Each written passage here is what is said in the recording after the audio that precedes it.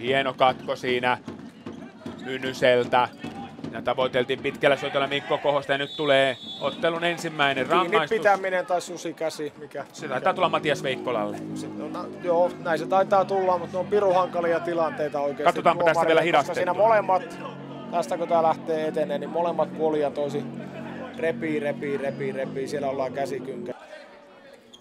Tikka, Manninen katselee. Koko ajan on siinä tutka pystyssä, että haetaan sieltä syöttöä. Kauko, Tikka.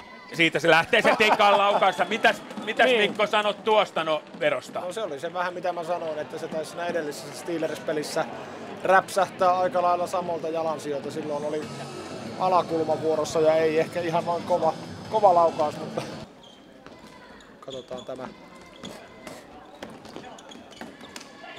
Kaukotilainen Tikka, nyt on paikka ja siitä se räpsähtää Mannisen laukaus suoraan syötöstä kädet kohti hallin kattoa ja onhan se nyt vaan fakta, että jos Manninen tuollaiselle paikalle päästetään, niin kyllä aika vaarallista jälkeä mies Joo, tekee. en tiedä. Katsotaan siinä vähän, en tiedä oliko Kuusela vai Kohosen mies, vähän molemmilla jäi, jäi seuraaminen siinä. Kuusela väänti siinä aloituksen kotijoukkueelle ja heti tulee paikka siihen. Ja ottelun ensimmäinen rangaistus, tuleeko ei ranga- se ensimmäinen. Kyllä, Ei kun tota, happeelle ensimmäinen rangaistus. Mielenkiintoista nyt nähdä, lähteekö SPV hakemaan jopa heti tästä, tästä vapaalyönnistä ratkaisua vai otetaanko pallo niin sanotusti vaan pelille ja lähdetään jauhamaan, jauhamaan YVtä.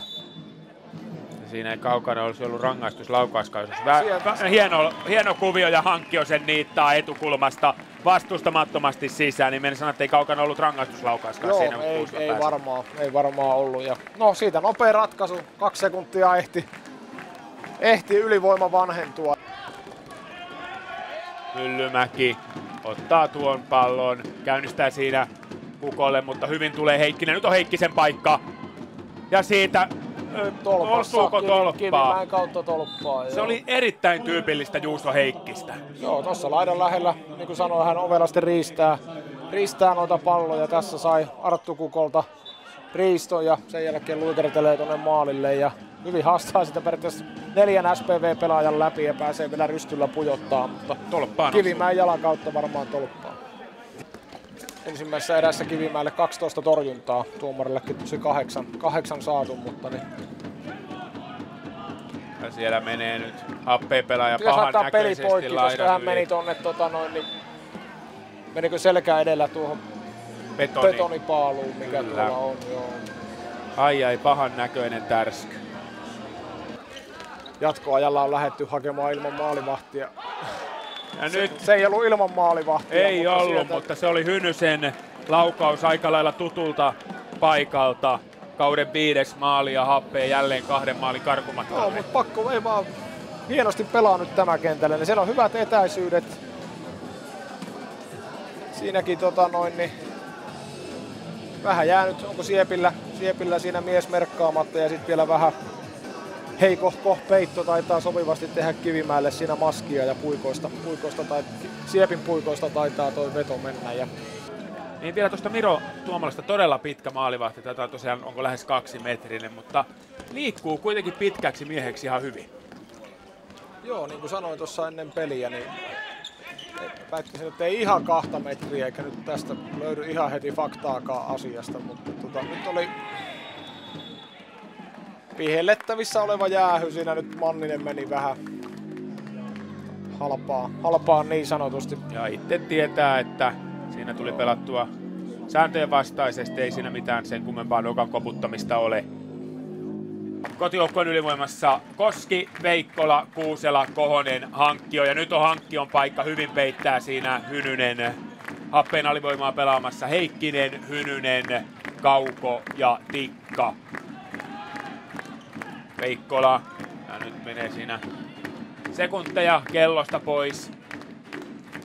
Yksi ja kymmenen jäljellä. Ja sieltä vaan Kohonen pistää etukulmasta.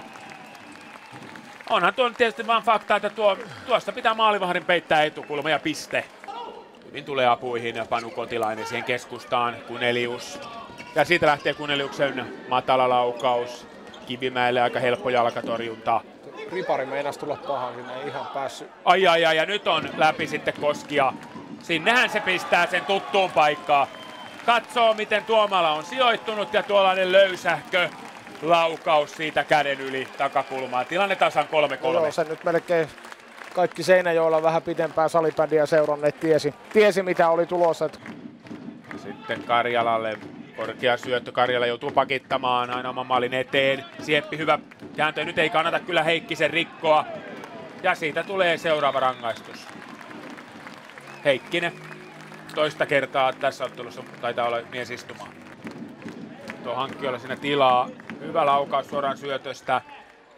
Lähtee Kohoselta, mutta siihen ehtii hyvin Tuomala maalivahtina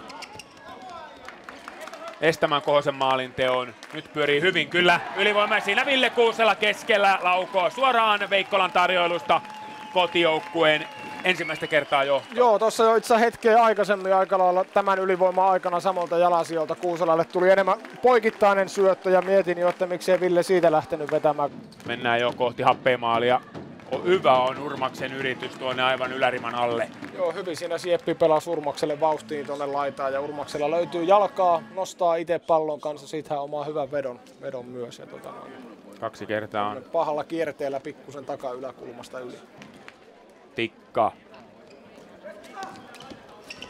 Ja on kyllä hieno kääntölaukaus Jami Manniselta ja jos on tällä kaudella ollut aika ennen tätä tullut kahdeksan syöttöä ja kaksi, te, kaksi tehtyä, nyt tässä on kaksi tehtyä. Ja kyllä tämä on, tämä on ehkä enemmän sitä, missä Jami Manniselta on totuttu näkemään Joo, toki, toki tota, no, niin, tuossa äskeisessä vaihdossa niin puhuttiin tuossa toisen erän lopussa, että Liponen on ollut hieman näkymättömissä, mutta hyvin Manninen petasi siinä Liposelle paikan. Sen Kivimäki onnistui vielä kypärällä torjumaan. Ja No nyt on sellaista miekkailua.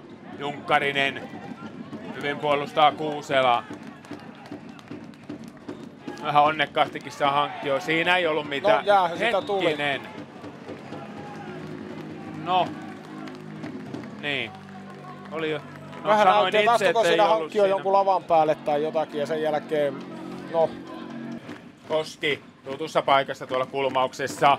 tuo Hyvä laukaus. Iso, iso torjunta. Hankkiota Tuomala ottaa kyllä ottaa todella tärkeän torjunnan tähän paikkaan. Lähelle pääsee ja pääsee niin lähelle, että sieltä se heilahtaa.